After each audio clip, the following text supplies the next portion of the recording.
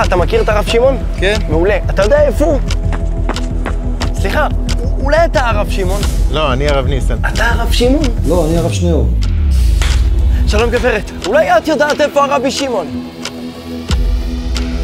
אתה הרב שמעון?